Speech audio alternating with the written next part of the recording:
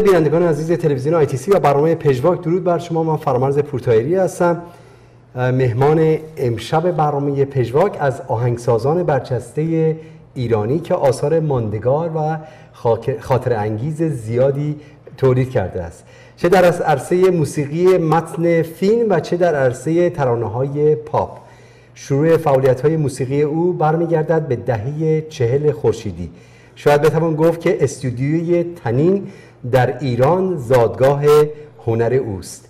اکثر کارهای او با صدای زنده یاد فرهاد و گوگوش اجرا شدند.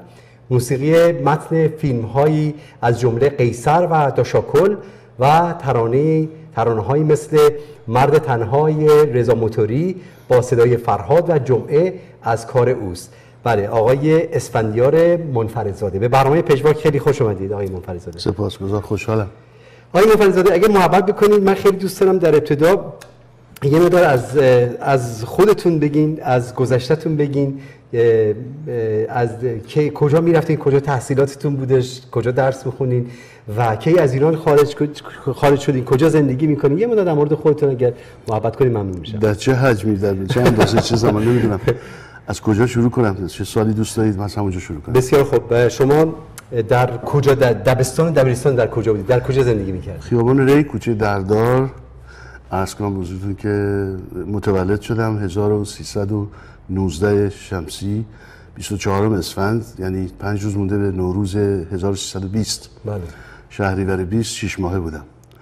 و اونجا خیابان ریکوچه دردار بزرگ شدم زندگی کردم. مدرسه دبستان اکرمیه دختران پسرانه بود اون روزگار. بعد دبستان اقبال بعد دبیرستان اقبال دبیرستان بدر دبیرستان علمیه و بعد دانشگاه تهران. بله علمیه بهارستان بودش درست میگم؟ علمیه موقعی که من رفتم بله پشت مسجد سپهسالار بود. و بعد رفت بلافاصله ساختمان موقت چون ساختمان بنایی می‌خواست بشه رفت چهارراه سدلی. بله. موقتا تو اون کوچه ای بود فرعی اسمش یادم نیست. بعد برگشت دوباره به محل جدید ساخته شدش. عشق شما به سینما موسیقی و از کی آغاز شدش و به حال کی بودش که یا اصلا بهتر بپرسم اولین باری که شما در حقیقت تو این فکر افتادی چند سالتون بودش؟ تو فکر موسیقی فیلم خب قبل از اون دیدن فیلم با کیمیایی خب نزدیکی و یا مدرسه سینمایی ما بود. یعنی بله. کیمیایی و من. و فرامرز غریبیان و بچه های هم محلمون. و یازده دوازده سالگی با کیمیایی زندگی بچه محلی رو در واقع شروع کردم. اونجا او بود که در واقع بگم باید بگم معلم اول من فیلم دیدن با کیمیایی و به ویژه بازگو کردن فیلم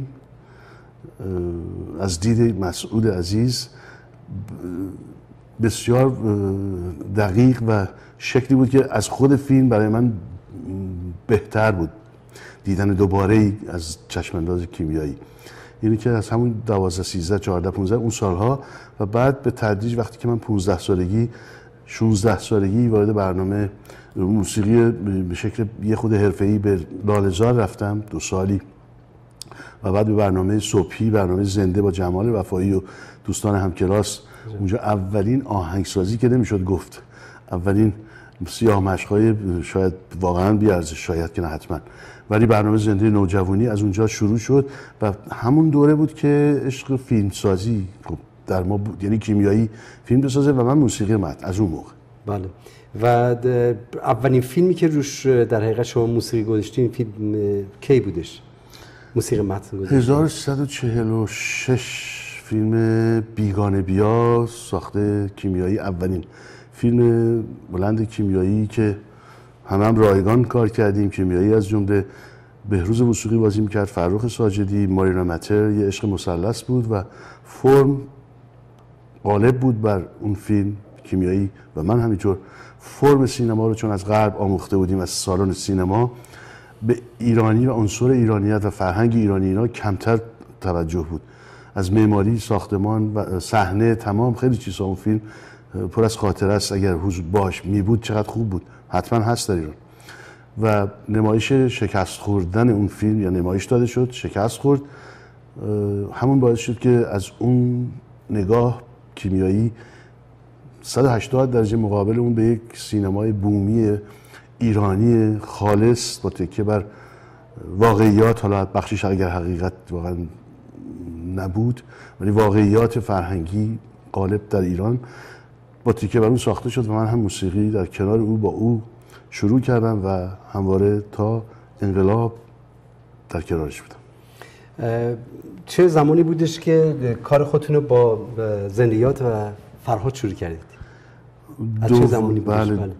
1349 بود برای فیلم نه نه 49 فیلم نمایش داده شد, داده شد بله. آخر تو 1948 اون فیلم ساخته شد توسط کیمیایی فیلم رضا موتوری. که من اونجا برای اولین بار ترانه در سینما ایران. قبلش ترانه توسط بازیگران فیلم ها خونده می‌شد. یعنی بخشی از دیالوگ فیلم بود خواننده در صحنه حضور داشت. موسیقی متن نبود ترانه تا اون بله. روزگار. من صدای فرهاد رو برای فیلم رضا موتوری برای موسیقی متن بخشی از موسیقی متن فکر کردم که در غرب در اروپا ویژه شده بود این کار. اینکه من اون کار رو شروع کردم با فرهاد سال آخر سال 48 برای فیلم رضا موتوری. برای اولین بار این کاری بود که بله فرهاد تا اون موقع زبان انگلیسی بله. می‌خوند. تا اونجا که دقیقاً تا فرهاد در کوچینی و ارکستر اون کنسرت معروف امجدیه بله. این گروه بلاکتس و عجوبه ها اینا فقط چون شیک بود. خب ما نسل همون نسل بودیم. خوبم بود راضی هم بودیم. فارسی خوندن اصلا اون گروه هیچ وقت این کارو نکرد. و اینم بگم بد نیست موقع است که بگم. فرهاد حتی برای اینکه وقتی من رفتم سراغش کوچینی که بیاد بخونه نمی‌خواست بخونه. چرا؟ برای اینکه آقای کسمایی مدیر دوبلاژ بسیار توانا و آگاه پرتجربه فیلمی به نام بانوی زیبای من مال فیر لیدی بله بله. این رو ترجمه کرده بودن ایشون مدیر دوبلاژش بودن. آقای تورج نگهبان زنده یاد دوست عزیزم بزرگوارم آموزگارم. برای این ترجمه این اشعار رو ایشون کرده بودن و می‌خواستن کسی بخونه. رفته بودن سراغ فرهاد. و فرهاد فارسی اون ترانه ها رو که ایرانی نبود خونده بود. بله. فارسی بود. و بسیار بسیار ناراحت و ناراضی بود از اون. و دیگه نمی‌خواست فارسی بخونه واقعا خیلی طول کشید تا من رازیش کنم بیاد بخونه و آخر سر مشروط اومد بخونه به این شرط که اگر اون چی که ضبط کردم دوست نداشت پاک کنم من که گفت میشه گفتم قول بهت میدم و البته هیچ جا خودش اینو بازگو نکرد من میگم که مشروط اومد بخونه من بله. انقدر بزرگوار بود که این در واقع این شرطی بود که او گذاشت برای من من. بله. و اومد خوشبختانه در استودیو تلویزیون هم ضبط کردیم این رو. از آقای رضا قطبی هم باید سپاسگزاری کنم که این امکان رو در اختیار من گذاشتن. استودیو و اون هارپسیکورد همسرشون که در ایران نبود. اون ساز فقط اونجا بود. خوند و ضبط که تموم شد گفتم من کپی بدم. ببری شما خونه که گوش بدی. اگه راضی بودی که ما استفاده کنیم. گفت نه دیگه لازم نیست. OK داد. همونجا موافقت کرد. یادش خوش. برای اینکه این بگم ساز دست من بود و اگر مونده بود خودش انگیزه بود برای کار کردن. متاسفانه من شانس کنارش موندن رو نداشتم و آخرین کارم با او همون نجواها بود. شعر زیبای شهریار قنبری که گفتنی ها کم نیست من و تو کم بودیم. عجب. در حقیقت کاری که فرهاد به زبان فارسی می‌خوند اکثرا سیاسی بود برای اون دوره. ترانه‌های سیاسی بودش درست میگم؟ نگیم سیاسی بهتره برای اینکه بله میشه تعبیر سیاسی ولی کاری بود معترض به ناهنجاری ها و خب البته بله دقیقا اکثر که میگم همش بعد تا انقلاب هر چی که من باش کار کردم همه اشعار هم من انتخاب کردم مسئولیت همش هم من میپذیرم. البته جلوی در حضور خودش وقتی به لس آنجلس برای کنسرت اومد تو برنامه آقای مهیبودی گفتم. موقعی البته گفتم که در واقع به اصطلاح بگیم در یک کلام چپ از اعتبار توهی شده است تقریبا و من وقتی میگم دیگه نمی‌خوام اعتباری بگیرم چون اگر بلافاصله بعد از انقلاب می‌گفتم ممکن بود شوفه پیش بیاد که من می‌خوام امتیاز ویژه خودم بگیرم. نه. گوین که این کارا تیمیه اما تمام انتخاب اشعاری که من برای ترانه معترض بگم بهتر از ترانه سیاسی. معترض به ناهنجاری ها بله. همه جا هم هست. انجام دادم اینا رو من انتخاب کردم شعرها بدون استثنا. حتی اون مطل کودکانه گنجشک اشیمشی که موسیقی نداشت و برای اون موسیقی نوشتم اینا همش از شامرود و دیگران. تمام انتخاب من بود. شهیار عزیز شاعر خوشگو زیباگو شانس این داشتم که اشعارش رو برای من همیشه می‌خوند. شانس با او زیستن رو داشتم. و بسیار شعرهای زیبا داشت که با من ناسازگار بود یا ارتباط برقرار نمی‌کرد. بنابراین خوشحال بودم که اولین خواننده شعراش بودم. و بسیاری شعر برای ترانه داره که موفق بوده و من دیدمش و من با او فقط لذت بردم ولی خودم رو جای آهنگ نمی‌تونستم براش بسازم. بنابراین اشعار رو من همه رو من انتخاب کردم و پیش از انقلاب تمام خواننده ها براشون کار انتخاب می‌شد اونا میخوندن. بعد از انقلاب که ما ارزیابی اگر بکنیم تولید ترانه رو که مهمترینش به نظر من شعر و البته تلفیق شعر آمیزش شعر و موسیقی اینها برای اینکه خواننده ها شدن مدیر یا کاپیتان تولید ترانه. اونها بودن به هر دلیلی که بوده درش روشن البته وقتتون نمی‌گیرم. اونها سفارش دهنده شعر و شاعر و تعیین کننده آهنگساز بودن. چرا؟ خودشون این خط رو انتخاب کردن که برن به موفقیت برسن. و اینه که اون وقت کاری وقتی موفق میشه صاحبش هستن. وقتی موفق نمیشه کی بود کی بود؟ من نمی‌دونم آره. این کارهای شکست خورده یتیمه. کارهای موفق صدها پدر و مادر داره. به حال تا اون موقع ترانه معترض بله من کار کردم و فرهاد خوند بعد از انقلاب مجاز نبود دیگه بخونه بیرونم که اومد خودش با من درد دل کرد. حتی کلام اشعاری مثل سقف که از ایرج جنتی عزیز تو فکر یک سقفم. حکومت پس از انقلاب این واقعا خندهداره. شما واقعا توجه باید داشته باشید. فکر کنید ترانه پیش از انقلاب تصفیب کردن ما اینا رو بیرون از رادیو تلویزیون ضبط می‌کردیم من هیچ وقت اینجا بگم ترانه نبردم یعنی شعر نبردم که رادیو یا تلویزیون تصویب کنه اجازه بده من این رو ضبط بکنم یا نکنم. بنابراین ما چون بیرون استودیوهای بیرون تنین ضبط می‌کردیم و سوراخ سینما راه سینما راهی بود که به حال از دسترس ممیزی دولتی بیرون بود. تا بعدا سال 53 طی جریاناتی فهمیدن بماند. من اینا رو انتخاب می‌کردم و ضبط می‌کردیم و می‌دادیم بیرون و می‌رفت تو جامعه. هیچ ممیزی هم نمی‌شد. بعد از انقلاب و از عوض شد. اونها کارهای پیش از انقلاب رو مثل سقف که میگه تو ترانه سقف که فرها با صدای فرهاد ضبط کردم میگه لختی پنجره هاشو بپوشونه پیرهن تو. تو فکر سقف هم سقفی که اون خونه یا اون اتاق اون پنجره رو لختی پنجره که پرده نداره پیرهن تو اونو بپوشونه. یه اروتیزم شاعرانه بسیار لطیف از ایرج جنتی عطایی. شما فکر کنید یه حکومتی پس از یک انقلاب میاد میگه مجبور می‌کنه فرهاد رو که در کنسرتاش ببینید نوارا رو توجه کنید. میگه لختی پنجره هاشو بپوشونه دستای تو. دست که حالا حالا یعنی پر... یعنی لباس تو نباید دراری. یعنی چقدر تجاوز به حقوق به لطافت های انسانی که واقعا اینا لازمه. یعنی انسان رو اگر این لطافت رو انسان نداشته باشه انسانی انسانی که عشق نمی‌شناسه عشق به هموطن و انسان رو هرگز نخواهد شناخت. بنابراین در این حکومت و تفکرات و اندیشه مدونش واجهی به نام عشق وجود نداره. متاسفم. شما خاطرات خوب زندگیتون رو چه سالایی بوده یه وقتی برمیگردین به عقب نگاه می‌کنین کی بودش که مثلا همیشه یادش هستید خب این که نمیشه برای روز و شب با هم معنا پیدا می‌کنه.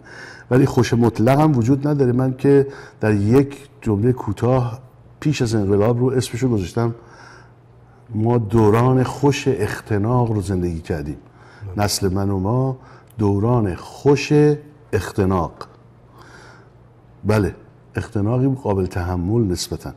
و ما وقتی شعار دادیم استقلال آزادی آزادی منظورمون مشخص و روشن آزادی سیاسی بود. اونم برای مخالف چون آزادی موافق همیشه بوده الان هم هست. بنابراین اون دوران نسبت به بعد از انقلاب بعد از انقلاب واقعا باید تعریف بشه. حالا الزاما انقلاب مثبت نیست بارش و تجربه شده همه جا خیلی جا. آره این ما دوران خوش اختناق رو زندگی کردیم و نسل بعد از ما قربانی من خودم بخشی که خودم گردن می‌گیرم کم آگاهی رو می‌ذارم و در برکه خفقان نه اقیانوس آزادی معلومه که نهنگی به وجود نمیاد. طبیعی بود که حالا همه گفتن روشنفکرا این حکومت رو آوردن. هرگز اینجور نبود. دوستان شنونده بیننده عزیز روشنفکر هر وقت کسی به شما گفت بپرسید که روشنفکران نه مبارزان اشتباه نشه. روشنفکران ایران از چه راهی با میلیون میلیون مردم بزرگ توده بزرگ در تماس بود که بتونه خواسته هاشو بگه و اونا بپذیرن و بیان انقلاب کنن؟ بنابراین این روشنفکری رو محکوم کردن به ویژه وزارت اطلاعات پس از انقلاب. خودش ادامه داده سی و چند ساله که این روشنفکر اوست که میگه. چرا برای اینکه شما از فکر از اندیشیدن و روشنفکری فاصله بگیری و تاریک اندیش باشی به زعم اونها به میل اونها تا اونها کامروا باشند. شما پشیمونی هم تو زندگی داری؟ وقتی به گذشته نگاه می‌کنی یعنی چیزی می‌تونستی برگردی عقب اگر می‌تونستی به عوضش بکنی؟ اوه اگه می‌تونستم حکومت رو عوض می‌کردم. یعنی آره، آقای مهری این روزنامه نگار این اندیشمند قدیمی با تجربه خیلی سال 20 20 چند سال پیش این پرسش رو مطرح کرد خب برای که شرایط جوری بود که روشن بود دیگه بله. کسی دوست نداشت این همه سرکوب تکیه بر فرهنگ و ایدئولوژی مقبول یک جامعه سرخورده همه می‌پرسید که خب اگه برگردیم عقب شما چیکار می‌کردید اگه برمیگردید عقب بله. آیا همین کار می‌کردی؟ بله. انتظار ایشون این بود که ما بگیم نه نمی‌کردیم. من گفتم از بعد از کس درستی پرسش نمی کنی از ما نباید بپرسی. شما از اونهایی که حکومت می‌کردن بپرسید. اگر اونها همون کار رو می‌کردن که کردند شک نکنید که من و امثال هم همون کار می‌کردیم که کردیم. چون کار امثال ما عکس عمل بود در برابر خفقان در مقابل نبود آزادی سیاسی. کاری که حاکم کرد عمل بود. و امروز کاری که حکومت می‌کنه او داره عمل می‌کنه و شما عکس عمل جامعه رو دارید می‌بینید. این کاری که جامعه می‌کنه حتی اگر اسلحه دست بگیره که به نظر من اسلحه دست گرفتن به نتیجه نمی‌رسه. به قیام مسلحانه به انقلاب من کاری ندارم. اونو من مبارزه زیرزمینی مبارزه مسلحانه به هیچ جا نمی‌رسه. مستبدان لذت می‌برن از این نوع مبارزه. چرا که به راحتی هم شناسایی می‌کنن نفوذ می‌کنن سرکوب می‌کنن. خیالشون هم راحته. هرگز در تاریخ مبارزات مسلحانه هیچ نیروی به اندازه سازمان مجاهدین در کنار مرز ایران ایثارگر حالا ارزیابی نمی کنیم چرایی ایثارگریشون رو جان نساری کردن واقعا و از جان گذشتن نیروی انسانی وسیع مجهز به سلاحهای سنگین در کنار مرز ایران سالها هم جنگیدن. دیدید که و دیدند که راه به جایی نمی‌بره. یعنی ارتش بنگلادش رو هم نمی‌تونه شکست بده چرا نیرویی پس مبارزه مسلحانه لبخند مستبدان حاکم از هر نوع مستبد رو به دنبال داره. چرا که می‌دونه راحت می‌تونه سرکوب کنه. ادامش حتی خفقان رو اون ادامه داده. پژاک گروه های دیگه بازم سرکوب میشن. پس باید رفت سراغ این که مردم یک جامعه آگاه بشند. که این آگاهی راهی نداره جز اینکه از بستر آزادی های بی غیر سیاسی برای همگان بهش برسند. چون آگاهی یک مجموعه یک سویه نیست. جامعه همه چیزو ببینه نترسه از زندان و شکنجه و اوین و امثال اون و انتخابشو بکنه. اونجاست که اون وقت اون انتخاب اگر مانع ایجاد کنه حکومت براش اون قیام می‌کنه. اون قیام اگر قهرامیز باشه اون انقلاب اگر خونین بشه این حاکمیت که این خونبار شدن رو تحمیل می‌کنه. ولی مردمی که سلاح ندارن هرگز دست به خونریزی و خشونت نخواهند زد. مگر اینکه حاکمیت به آسانی با, با حضور میلیون ها مردم و اعتراضش نره کنار. شما تجربتون توی زندگیش بود. اگه بخوایم در یک جمله بخوایم یک نصیحتی به کسی بکنید تو این تجربه که تو زندگی به دست آوردید اون تجربه چی هست؟ خیلی بده نصیحت. من به حال به حال به حال من فکر می‌کنم که آدم به یه نقطه‌ای تو زندگی می‌رسه که احساس می‌کنه که بایستی به یک فرد دیگه که تازه داره شروع می‌کنه کمک بکنه. اسمش رو اگه نصیحت نذاریم بهتره. به نظر من چون نصیحت من خودم گوش نمی‌کردم و نکردم. من خیال می‌کنم که اسمشو بذاریم بیان نتیجه تجربه و بله. آگاهی. هر از هر جایی که من اومدم وظیفه من تنها نیست همه. من می‌تونم اصاره اون چی که فکر می‌کنم شاه کلید تغییر بنیادین به سود مردمان سرزمینی مثل ایران و امثالش هست یه شاه کلید داره. نه سوسیالیسم نه اونها مسائل بسیار بعدیه. من یه دیوار باید ساخته بشه. شما خشت اول رو باید بتونید بذارید. نمی‌تونیم از خشت بالا شروع کنیم. در بر هوا که نمیشه خشت زد. یک یک و یک. دو نیستین. کسی اینو دو سه چهار قرار بده با خودش شوخی می‌کنه یا ساده لوحی می‌کنه. نسلی که داره زرج می‌کشه رسانه ها شما همه رسانه هایی که به استبداد امیدوارم نه به مستبد اعتراض می‌کنن. رسانه انسان ها تشکلاتی که به مخالف استبداد هستن نه مخالف مستبد. اگر تونستند نادیده بگیرند طبعات یا محصول و برایند نبود آزادی های سیاسی رو و حرفی بزنند چیزی دارن بگن همه داریم اعتراض می‌کنیم به سرکوب سانسور دستگیری ها بازجویی ها شکنجه ها و اعدام ها و عواقب ریز و درشتش کریزک ها و دیگه می‌بینید. اینا همه محصول نبود آزادی های بیقید و شرط سیاسی برای همه است. اگر این یه دونه نباشه این آزادی نباشه همین اتفاقه. و اون وقت جالب اینه که همه اعتراضی که به این حکومت می‌کنند اینه که چرا می‌گیری چرا سرکوب می‌کنی چرا ممیزی می‌کنی؟ خب اگه تو قبول داری تو نوعی به خودم میگم. که نباید ممیزی باشه نباید سرکوب یعنی زندان سیاسی نباید وجود داشته باشه چرا همواره فریاد می‌کنیم 32 سال باز این شعار کهنه بیهوده بیخاصیت رو که زندانی سیاسی آزاد باید گردد؟ نه عزیزان زندان های سیاسی نابود باید گردد. روزی که به این شعار رسیدیم یعنی ما آزادی همه دگراندیشان حتی مخالفان خودمون رو حرمت می‌ذاریم حقش می‌دونیم و حق مسلمش می‌دونیم. پس اگر یک تجربه رو من بخوام نتیجه عمرم خودم بگم تا با تأکید که تا این نباشه من مرده و زنده خواهید دید. هیچ چیزی به سود مردمان ایران بنیادین تغییر نخواهد کرد. مستبد عوض میشه جاش. حکومت سکولار به معنای نه اینکه ضد دین ضد ایدئولوژی حکومت غیر مذهبی غیر ایدئولوژیک. حکومت بیرنگ از مجموعه رنگارنگی یک جامعه. آزادی های بی قید و شرط سیاسی برای همه بدون قید و شرط. و آزادی سیاسی هم روشنه. من میگم گفتم یعنی بیان آزاد هر نوع اندیشه به هر وسیله ای تلویزیون رادیو چه دوم آزادی همه احزاب بدون استثنا حتی احزاب فاشیستی. حتی حزب الله امروز بشد که تابلوش امروز او حکومت می‌کنه. یک حزب حکومت می‌کنه که می‌بینید این حزب فاشیسته به نظر من.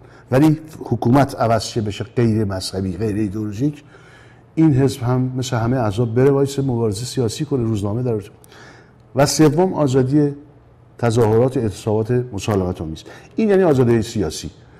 که این آزادی سیاسی تعیین کننده واقعا تعیین کننده بقیه آزادی هایی است که قانونیه و اون قانونی محترمه که مردمانش در تغییرش حق دخالت دارن و قانونگذاری می‌کنن. نتیجتا بهش احترام می‌ذارن. مثل همین جایی که اروپای آزاد امریکا کانادا شما زندگی می‌کنیم تجربه می‌کنیم پس یک دونه شاه کلید ما داریم. آزادی های بی قید و شرط سیاسی. تا شما نسل های بعد از من نرسید بهش مطمئن باشید به هیچ چیز نخواهید رسید. نه زنان به حقشون می‌رسن نه کودکان کار نه تمام اون رویاها و آرمانهای انسانگرایانه.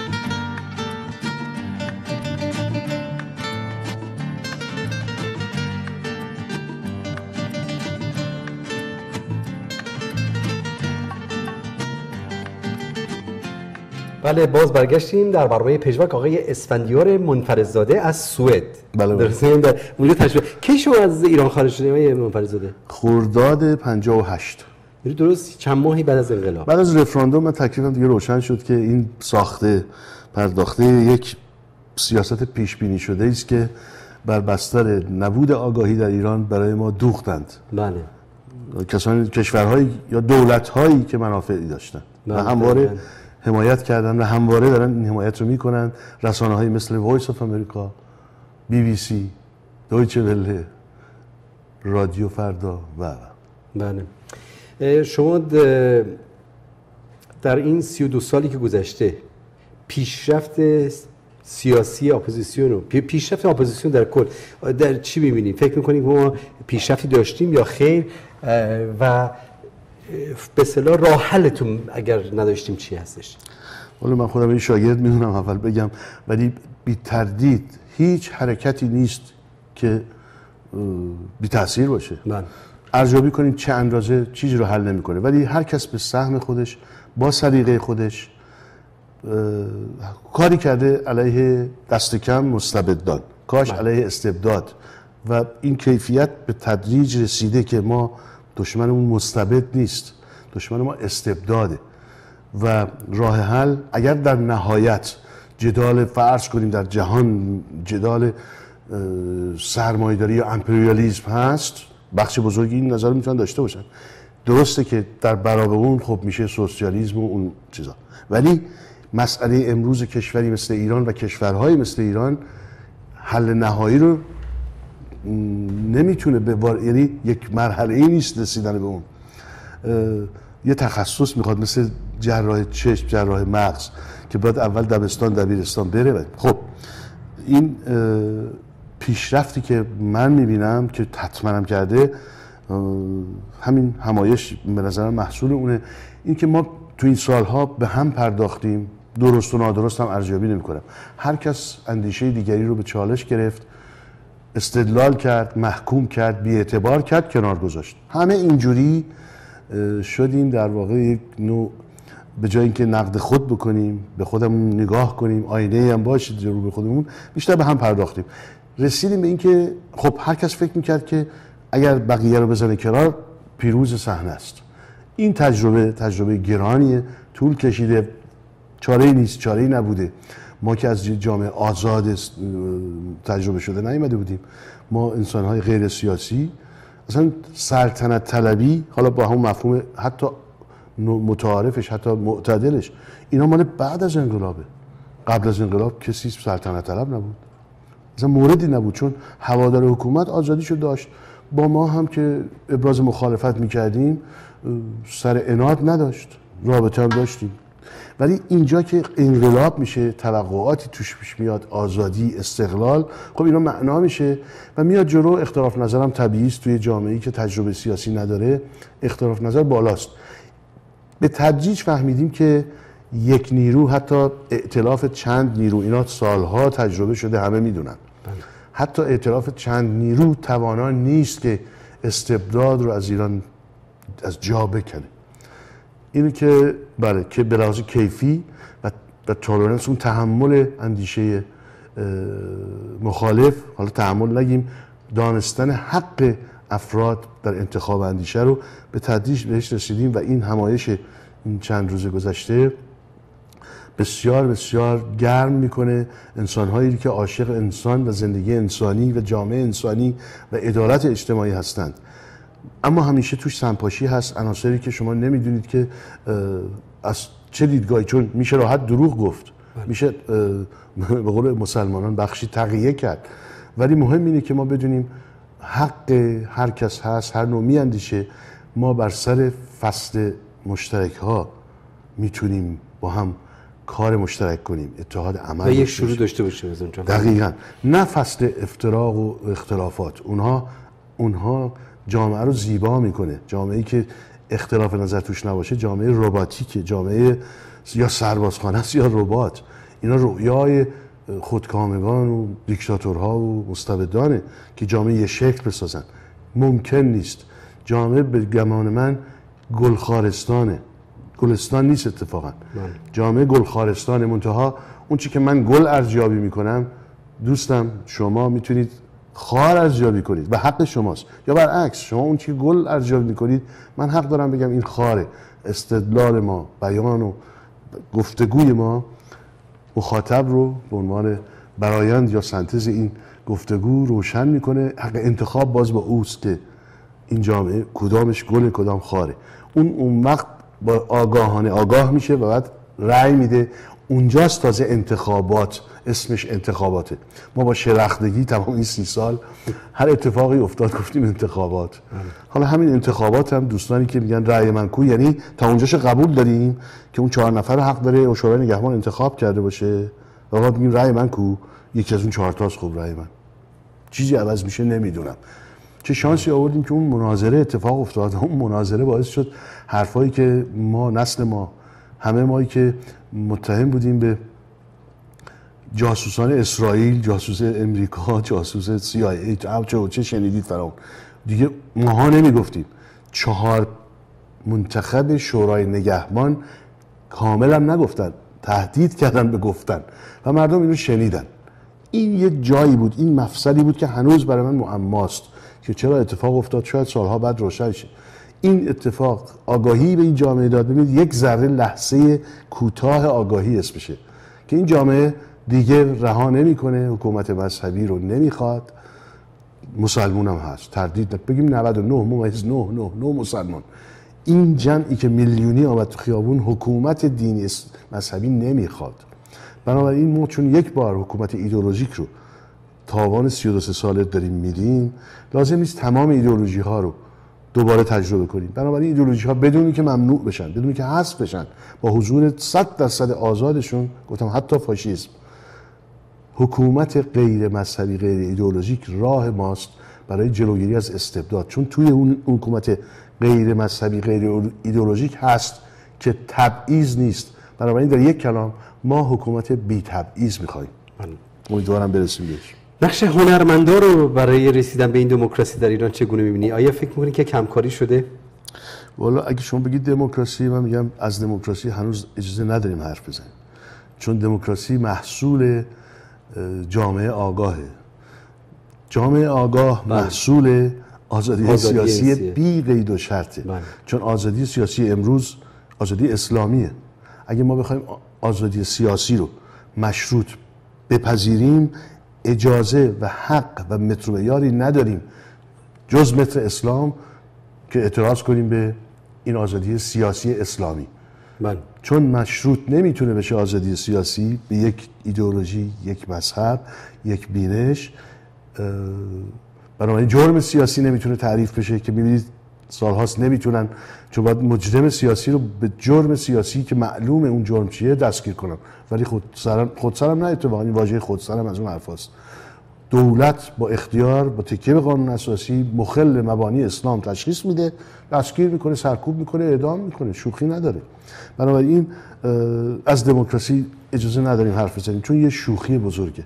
چون دموکراسی هنوز دو مرحله بزرگ ما داریم تو ولی می‌تونیم خواهانش باشیم. اون وقت دموکراسی مفاهیم گستر... مفهوم گسترده که باید در ایران سرنوشتش روشنش که یعنی چه و مجلس مؤسسانی که محصول جامعه آگاه شده محصول آزادی های سیاسی بی و شرطه پس ما اگر آزادی بی قید و سیاسی رو نذاریم دستور کارمون در اولویت چجوری انتظار داریم مردم انتخاب کنن؟ همه هم میگیم انتخاب با مردمه.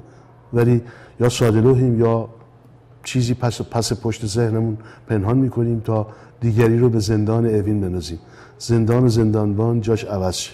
متاسفانه. برای رسیدن به آزادی بگیم. نقش هنرمندان چگونه می‌بینید خب درک درست از آزادی یا تعریف. آزادی آزادی که یک کلمه میگیم شما یک نفر در جهان تا این لحظه فردا هم همینجور تو طول تاریخ یک نفر نه دو نفر نمی‌تونید پیدا کنید که بگه نه آزادی رو نمی‌خوام من. بدون استثنا. آقای خمینی آقای هیتلر موسولینی آقای خامنه ای همه آقای استالین همه آزادی می‌خواستن. منتها آزادی به تعریف خودشون. بنابراین آزادی واژه مبهم بسیار با تراوتی است که هنوز معنای مشترک میان همه کسانی که مصرفش می‌کنن نداره. وقتی ما میگیم لیوان باید معنای مشترک بده. تا مفهوم مشترک باشه. آزادی چون مفهوم مشترک نیست من ناگزیرم بگم آزادی سیاسی و بیقید شد برای همه. یعنی آزادی دگراندیش خواهی. حالا هنرمندان مستثنا نیستن بخشی از جامعه هستن کارشون تخصصشون علاقهشون چیز دیگه است. ولی یک آزادی سیاسی بیقید شد برای مردم برای جامعه جهان خواستن یک مفهومی است که باید درک بشه یکم خواسته بشه. یعنی ما همه هر کس در صفی از این صف مبارزه ایستاده با سلیقه خودش. هرچی می‌خواد بعد از اون حق اوست. اینکه در این آزادی سیاسی که همه هم هستن او بعد چی می‌خواد اون حقشه. من نمی‌تونم بگم. می‌تونیم ما بگیم مثلا جمهوری خواهان یا بیایم مثلا اونش سوسیالیسم می‌خوان خب هی میشه واحد ناتوان کوچک. این تجربه شکست خورده است. بنابراین درک درست از آزادی یعنی آزادی سیاسی. چون بقیه آزادی ها بزرگان آموزگاران من اسمش آزادی ولی آزادی نیست. هیچ جای دنیا آزادی دیگری مثل آزادی رانندگی آزادی پوشش آزادی نیست. اونا محدوده های قانونه. اون اصطلاحا آزادی ها رو قوانینی محدود می‌کنه به حق. چرا که اون قوانین محصول حضور آزادی سیاسی است که ساکنان و اونا که زندگی می‌کنن در اون محدود جغرافیایی فرهنگی حق تغییرش رو دارن همیشه. اینجاست که به اون قانون ارز کردم احترام می‌ذارن و تغییرش میدن.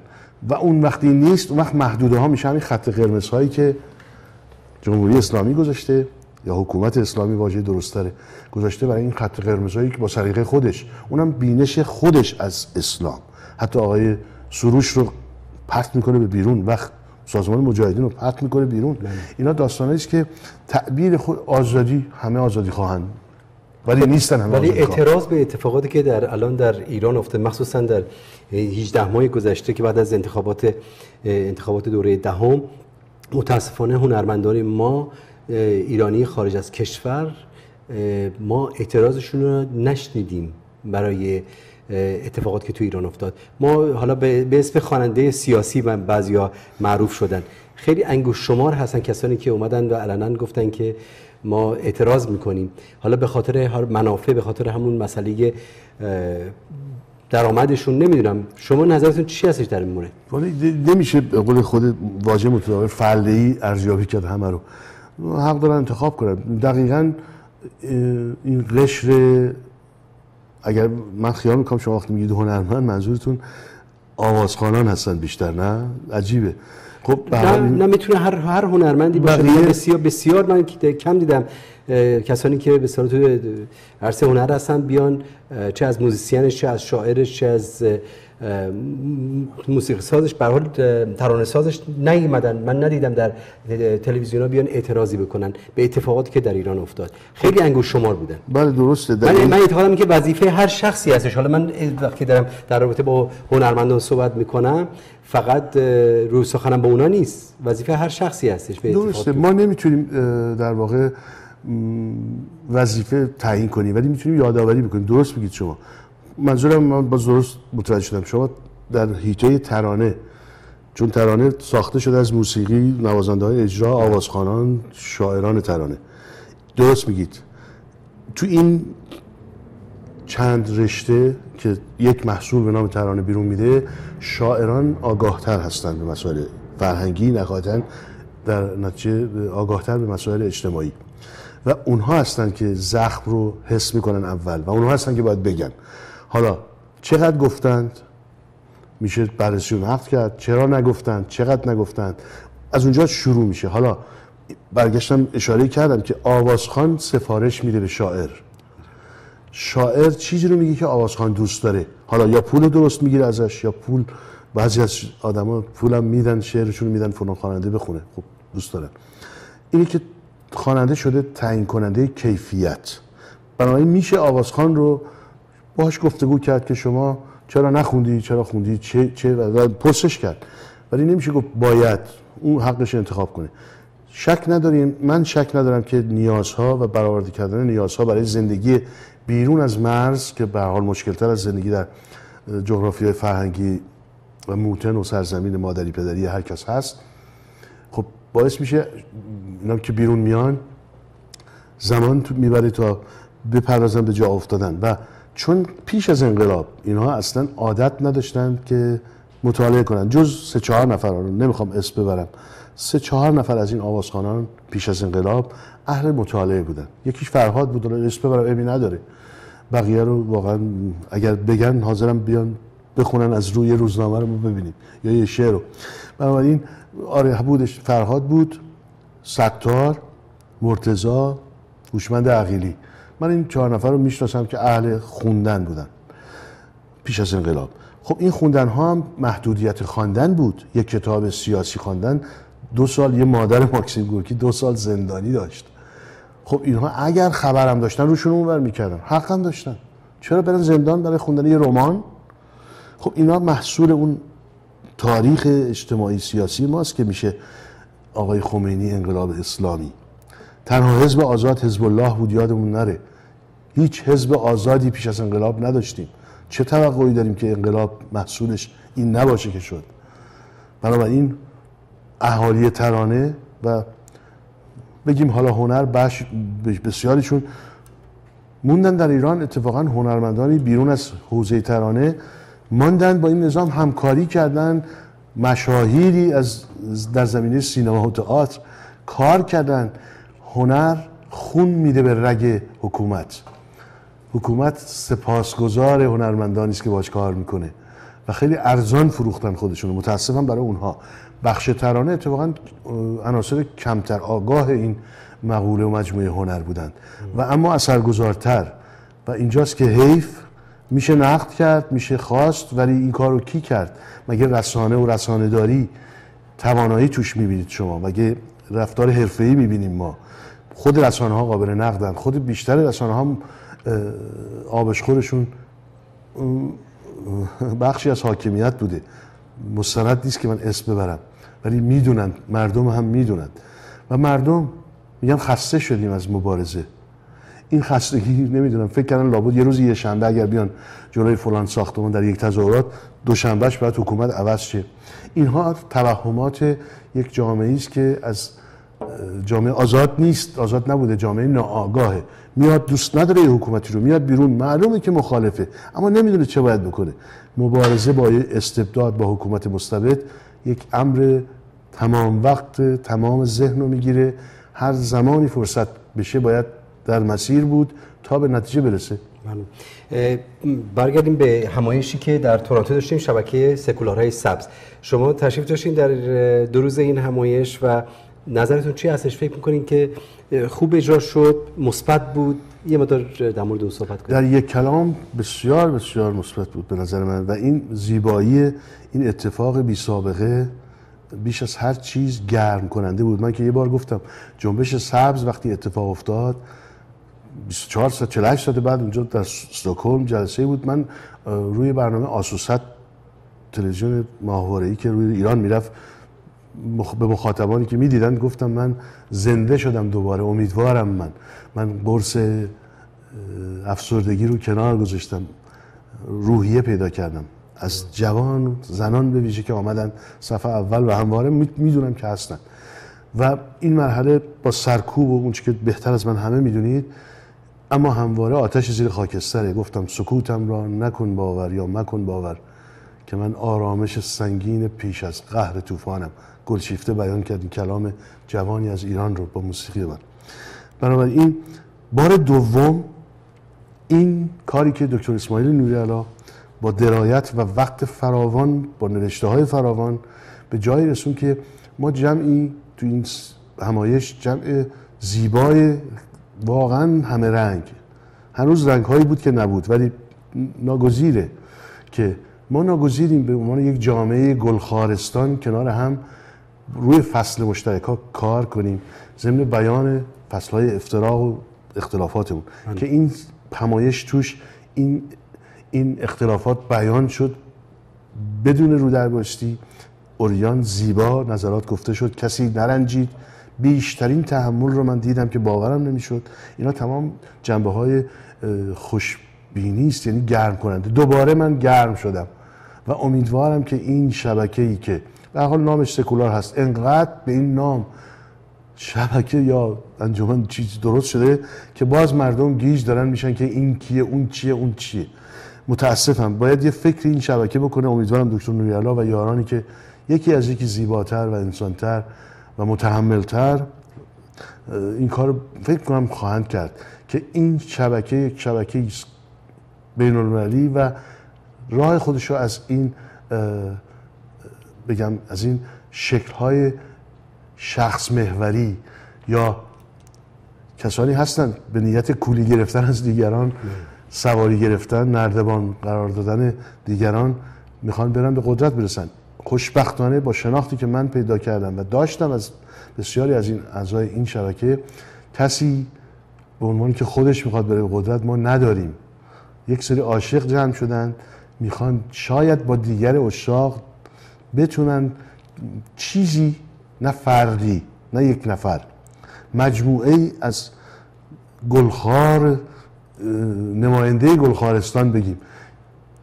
پدید بیاد به عنوان یک جایگزین این حاکمیت مدعی این حکومت استبدادی که آزادی خواه آزادی برای همه می‌خواد چون می‌بینه که همه رنگارنگ. هر کسی نمایندگی فکر، نماینده فکری خودش رو تو اون حس کنه و بشناسه ببینه.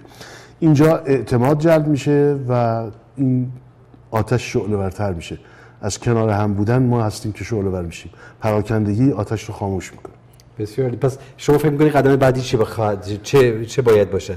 بزرگتر شدن جا افتاده تر شدن این نظریه و گسترده تر شدنش و ممیزی همیز داده شدنش با دیگر اسامی مشابه که موازی سازی حکومت هم با این نام سبز و سکولار اینا که انجام دادن در پاریس همه می‌دونن. همه گیت شدن مردم که این چیه اون چیه اون چیه اونا چیه این گسترده تر میشه و راه دیگهش قدم بعدی برنامه‌ریزی که داره انجام میشه و چون سایت هست علنی هست افراد نقش دارن در تعیین کردن این مسیر این مسیر با نظر یک جمع بسیار بزرگی که من در آینده میبینمش برنامه‌ریزی میشه و جلو میره بدون که خودش بخواد به عنوان جایگزین خودش رو مطرح کنه. و این زیبایی این کاره.